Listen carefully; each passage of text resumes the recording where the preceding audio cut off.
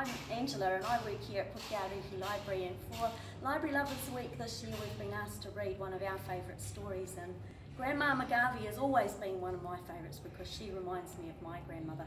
So I'm just going to read you a bit out of this story by Jenny Hessell.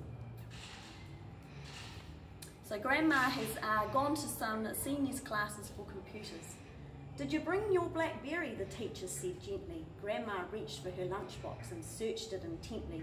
Or your iPod, he asked with a desperate smile. She surveyed her food and thought for a while.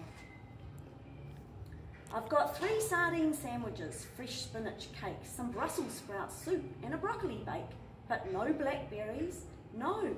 And what else did you say? Peas in a pod? Maybe some other day.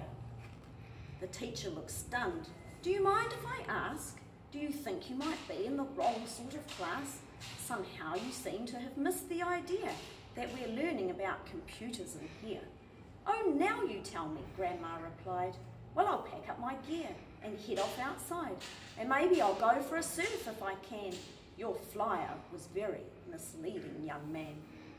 So that's just an excerpt out of Grandma McGarvey Surfs the Net.